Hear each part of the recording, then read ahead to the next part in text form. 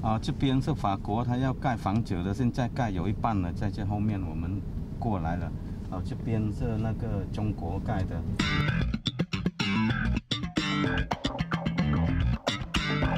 这一两年来，特别金边的发展特别快，不管是金融的这样一个部分，或者是房地产的这样一个项目。海外资产蔚为风潮，现在很多医生、律师，甚至各行各业人士都组成了看房团，一边旅游一边看房子，成了新形态的旅游行程。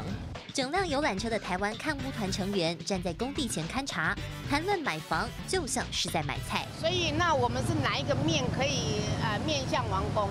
哦，朝东的那一面。那有这一方面的房子卖吗？哦，目前有。从业二十二年的房仲，这两年来金边考察超过二十次，发现商机。在皇宫附近以及新开发的鸭子岛、钻石岛，新式洋房、高楼犹如雨后春笋，都是冲着金边房价增值甚至翻倍的想象空间。比如说像这边话有一些别墅，三年前话大概是六、十七万一户，现在话一户话可以已经涨到五十到五十五万。跟这些首都比起来，柬埔寨金边相对的话基期还算是蛮低的。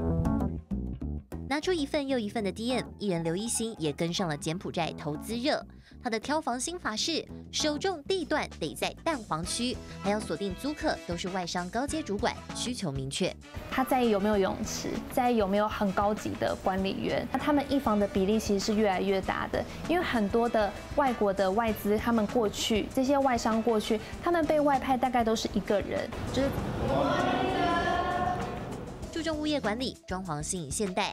租金投报率标榜有百分之六到八，不过专家也提醒，预售屋的风险高于成屋。东南亚很多地方的包租叫假包租，我的房子呢，未来给你包租两年，一年给你六趴，两年就有十二趴，你会觉得哦很棒哦，那很简单啊，我把你的房价我加上十二趴，再分成两年还给你。此外，还有政策不确定性因素。包括房屋买卖税制尚未建立完善，没有地目使用区分、地籍资料，也没有容积容币率规定。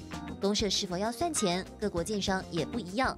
前棒球国手赵世强也曾经去考察，就因此还在观望中。毕竟追求短线获利，同时也要小心套牢风险。